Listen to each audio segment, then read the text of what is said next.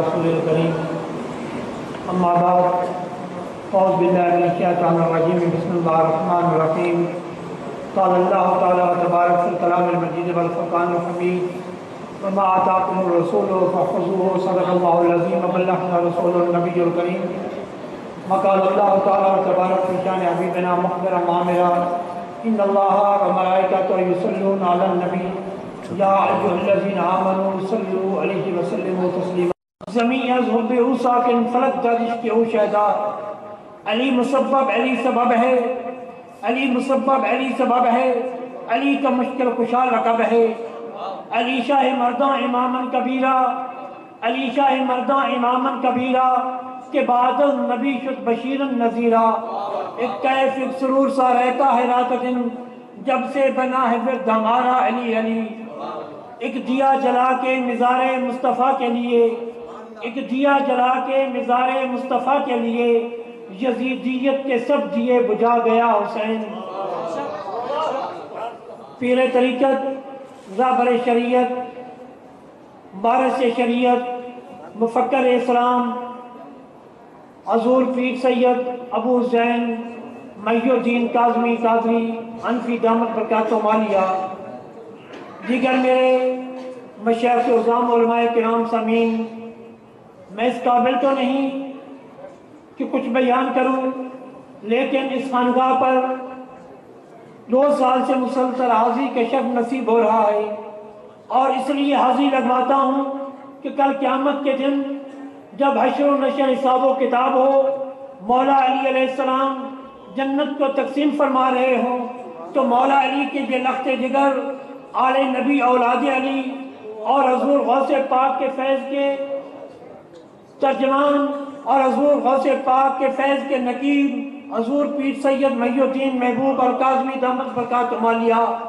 اس بات کی گواہی دیں کہ ہاں یا علی، آپ کا یہ گداگر میری موجودگی میں خانگاہ عالیہ محبوب آباد شریف میں حاضر ہو کر حاضری لگواتا تھا۔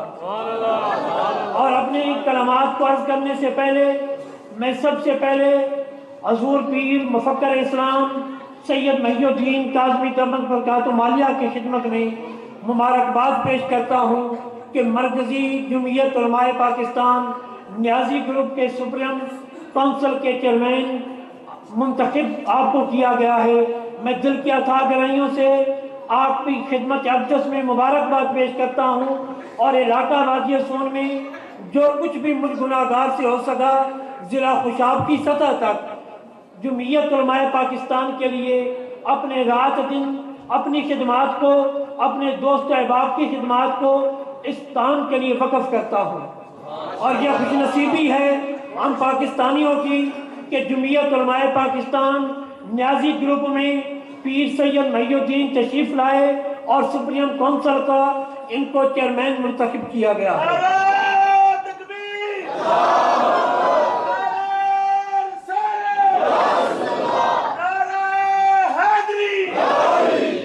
یکم مئی کو میں آپ کا کتاب سن رہا تھا میں شہر کنونشن میں یکم مئی لاہور میں، تو آپ فرما رہے تھے، تو کوئی یہ نہ سمجھے کہ یہ اللہ اللہ کرنے والے، سجادوں پر بیٹھنے والے، تسبیحوں کو روکنے والے، سیاست کے پیچ و تاب کو نہیں سمجھتے۔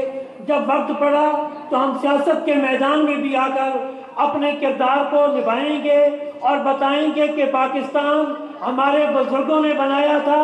اور اس کو بچا کر بھی ہم دکھا سکتے ہیں۔ اور جب تک ایسی ہستیاں موجود ہیں، پاکستان کی طرف کوئی میلی آنکھ اٹھا کر بھی نہیں دیکھ سکتا۔ یہ میری خوشامتی الفاظ نہیں، بلکہ حقیقت ہے۔ اور میرا تو یہی ایک خواہش تھی اور ایک دل سے منگٹتی تھی کہ وقت وقت آئے کہ مشیخ عظام خانگاہوں کو چھوڑ کر رسم شبیری ادا کریں۔ کیونکہ اب وہ وقت نہیں رہا کہ حج اسد بن کر خانگاہوں میں بیٹھا جائے کہ لوگ آئیں گے، ہمیں چومے چاٹیں گے؟ اب وہ وقت نہیں رہا کہ مخمل کی سیٹوں پر لیٹ کر مزے لوٹے جائیں۔ اب وہ وقت گزر چکا کہ تکیوں کے نیچے سے نظرانے بٹورے جائیں۔ نظرانے بھی درست، تکیوں مخمل کی سیٹوں پر آرام بھی درست اور خانگاہ میں بیٹھ کر ہاتھوں کو بوسہ دلوانا بھی درست۔ لیکن ضرورت تھی کہ ملک پاکستان کے جو حالات ہیں ان کو سنبھالا دینے کے لیے مشاق اعظام میدان عمل میں آئیں اور رسم شبیری ادا کریں۔ اللہ کا لاکھ لاکھ شکر ہے کہ حضور پیر صاحب بھی اس میدان میں اب آ چکے ہیں اور میں اللہ رسول کی بارگاہ سے یہ توقع رکھتا ہوں کہ اللہ رسول کے فضل و کرم سے اب ملک پاکستان میں وہ نظریات نہیں چلیں گے جو ان پاکستان کی بنیادی اساس کو نقصان پہنچانا چاہتے ہیں۔ کبھی وہ خرجیت کے روپ میں کبھی وہ نسبیت کے روپ میں اور کبھی اپنوں کا لبادہ اوڑھ کر پاکستان کی جڑوں کو کھوکھلا کر رہے ہیں۔ اور یاد رکھنا کہ یہ سٹیج اس بات کی اجازت تو نہ دیتا ہوگا کہ اس طرف اشارہ کروں، لیکن یہ بات کہنا ضروری سمجھتا ہوں کہ سید حامد علی شاہ کاظمی کو اگر کوئی سزا کی جا رہی ہے تو وہ سنی ہونے کی سزا ہے۔ اور ان کا سیاست بھی ہم سے الگ سے ہی، لیکن مسلک ایک ہے۔ جب تک علماء اور مشیخ نے اپنی حرکت میں رہے، خاندانوں کو چھوڑ کر دین اسلام کی تبلیغ کو پھیلایا، تو کسی کی جلت نہ تھی، تو وہ میلی آنکھ مشیخ ازام کی طرف، علماء کرام کی طرف یا عام سنت کی طرف اٹھا کر دیکھتا۔ کتنے دکھ کی بات ہے کہ پاکستان تو ہمارے مشیخ نے بنایا، لیکن آج ہماری خانداہوں پر یہ ظلم و ستم ہو رہا ہے۔ کتنے دکھ کی بات ہے کہ پاکستان کی تاریخ میں اور جو نصاب ہے تعلیم کا، اس میں ہمارے مشیخ کا ذکر تک نہیں ہے۔ اس لیے میں پیر صاحب کی خدمت میں دست بستہ تماس کروں گا کہ آپ ایک ایسا بھی کنونشن بنائیں بنائیں کہ جس میں حکام والا سے اس بات کو پائے تکمیل تک پہنچانے کے لیے مطالبہ کیا جائے کہ تعلیمی نصاب میں مشاق اہل سنت اور علماء اہل سنت کے کردار کو واضح کیا جائے۔ ان کا نام تو شامل ہے جو پاکستان بنانے کے مخالف تھے لیکن ان کا نام نہیں ہے جو پاکستان بنانے والے تھے۔ اب میں اپنی مختصر سی حاضری مولا کائنات علی مشکل کشا علیہ السلام کی بارگاہ میں لگوا کر آپ احباب سے اجازت کروں گا۔ نبی پاک صلی اللہ علیہ وسلم کے ایک لاکھ چوبیس ہزار صحابہ کرام برحق ہیں، لیکن سب سے زیادہ شان جو ہے وہ مولا کائنات، مولا علی کی ہے۔ اور حدیث و قرآن اس بات پر گواہ ہے کہ اگر باشد نبی کوئی افضل ذات ہے تو وہ مولا علی علیہ السلام کی ذات ہے۔ افسوس ہے کہ سنیت کا لبادہ اوڑھ کر مولا علی کے ذکر کو رضیت کہنے والے نہ جانے کس درس کے پڑے ہوئے ہیں۔ افسوس ہے ان کے عقیدے پر کہ مولا علی کے ذکر سے ڈرتے ہیں۔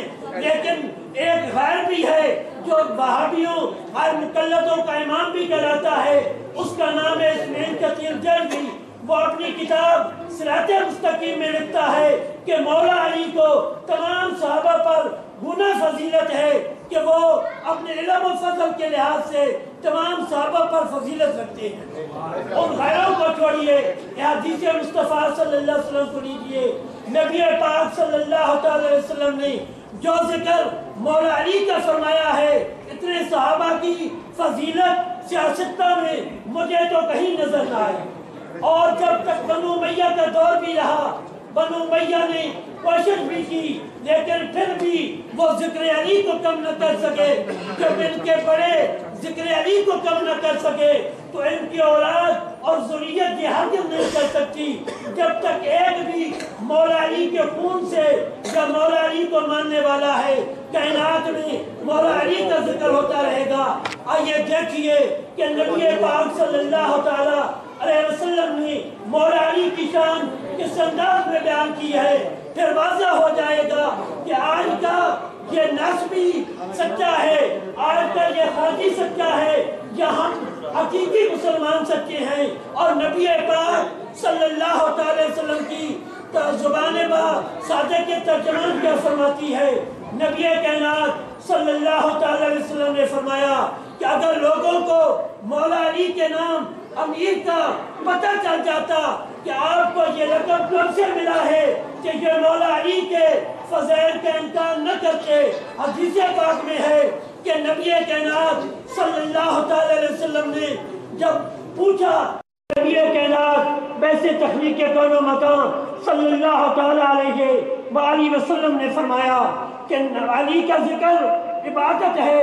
اور نبی پاک صلی اللہ تعالی علیہ وسلم نے فرمایا کہ علی کے چہرے پر نظر کرنا بھی عبادت ہے اور نبی کائنات صلی اللہ تعالی علیہ وسلم کی حدیث پاک ہے کہ خالق کائنات روزانہ فرشتوں کے سامنے مولا علی کے ذکر کر کے فخر سے ذکر فرماتا ہے اور فرماتا ہے علی تجھے مبارک ہو تو جب سنیے کہ رب العالمین فرشتوں کے سامنے روزانہ فخری انداز میں مولا علی کا ذکر کرتا ہے، تو اگر علی افضل نہ ہوتے بعد النبی، تو رب العالمین کو اس بات کی کیا ضرورت پڑی تھی کہ وہ ذکر کرتے؟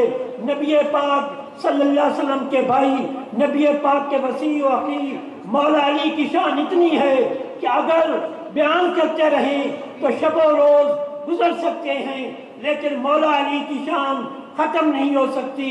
نبی پاک صلی اللہ علیہ وسلم کی یہ حدیث پاک عرض کر کے اجازت چاہتا ہوں کہ آقا کائنات صلی اللہ علیہ وسلم نے فرمایا، اگر جنگلات کے تمام درخت قلم بن جائیں، انسان لکھنے والے بن جائیں، جنات حساب و کتاب کرنے والے بن جائیں، وہ مولا علی کے فضائل کو لکھتے رہیں، تو پھر بھی مولا علی کے فضائل کو نہیں لکھ پائیں گے۔ دعا ہے کہ خالق کائنات ہمیں مرتے دم تک نبی نبی اور علی علی کرنے کی توفیق عطا فرمائے رکھے۔ اور جس طرح چوبن چورنجا صحابہ کرام بشمول ام المومنین حضرت عائشہ صدیقہ کا عقیدہ ہے کہ مولا علی تمام صحابہ سے افضل ہیں۔ ہمیں بھی خالق کائنات ان صحابہ کرام کی پیروی کرتے ہوئے مولا علی کو افضل ماننے کی توفیق عطا فرمائے تاکہ ہم ایمان سلام لے کر جا سکیں۔ آمین سم آمین۔ مما علینا اللہ البلاغ المبین۔